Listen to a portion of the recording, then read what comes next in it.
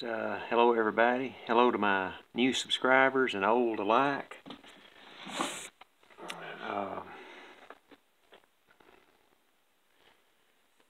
showing off a few things in the background there. See various manufacturers. Uh, do a few shout outs. Uh, Kain's Kustom Garage. Um, I did a video yesterday, gave me a shout out. Um, along with several other people. Um, I'm thankful for that and kind of did a reveal on uh, my other channel, which is Axe in the Kerf.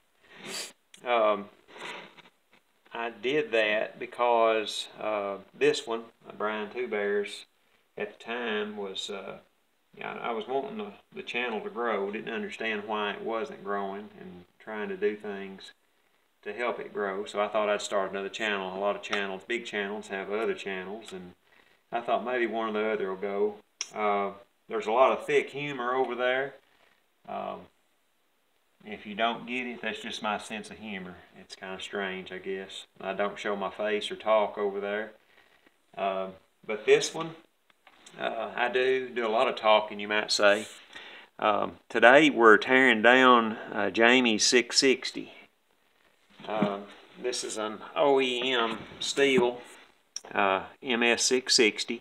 And I will say right now, uh, this is going to seem off topic for you Axe guys that have been uh, subscribing during, I've seen a lot of growth during this uh, Cordwood Challenge stuff, but uh, some of my better videos are chainsaw oriented, mostly mechanic videos.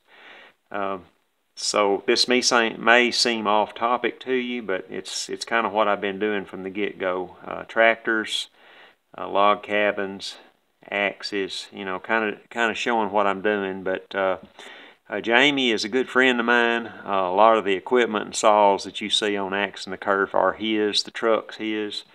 Uh, he's a real good friend of mine. he's a logger. he's a manager uh, he's a caretaker, he's a cattle farmer, uh, he's a mechanic, and from time to time I get to spend some time with him. And uh, he had asked me to find him a 660, and I was unsuccessful. And we kind of talked about the Farmertec route. Um, several years back, I tried to find a 660 reasonable and could not. But uh, we wound up finding this one, and uh, he did, and got a really good buy on it. Uh, it's all OEM, everything on it. And we talked about going forward what we would do. Uh, on a Stihl saw, every component that is an OEM Stihl saw will have the mark on it, the Stihl uh, insignia. And let's see if we can get that focus. Right there. Right there you can see it. Every piece on the saw should have that little insignia right there. It's an S. So I've, I've looked this one over. We'll talk about this as I begin to tear it down. Um, let me get the pan the camera over here. We did a quick uh, compression check on it. Uh, so you see that? Uh, the 660 is a pretty heavy saw. Uh, saw with good compression will hold itself up. I don't know what all that clicking and carrying on is about. We'll get into that later. Uh, so then we pull the muffler. Uh, if we look inside here, we see that the uh, piston is scored badly. Um, and then to turn the engine over,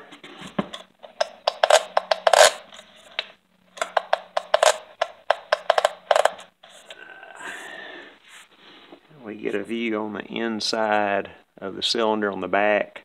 It looks good, so I'm thinking we can clean that cylinder up. And he and I had talked about options.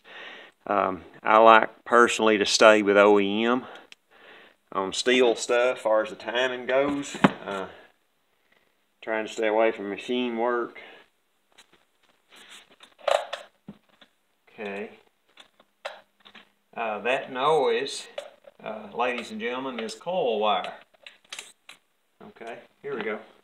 Look here. Somebody has probably begun to take that apart. Coil wire was in the flywheel. So that's good. I wasn't sure about what that noise was. That's good. That's a good good sign. So anyway, um, I stuffed, uh, that's another thing. Uh, Indiana Doug talked about uh, me discussing some of the tools of the trade. Um, I've got some real heavy rope I stuffed in the plug, the spark plug hole, and then used a six point impact and a ratchet and broke the, the clutch loose.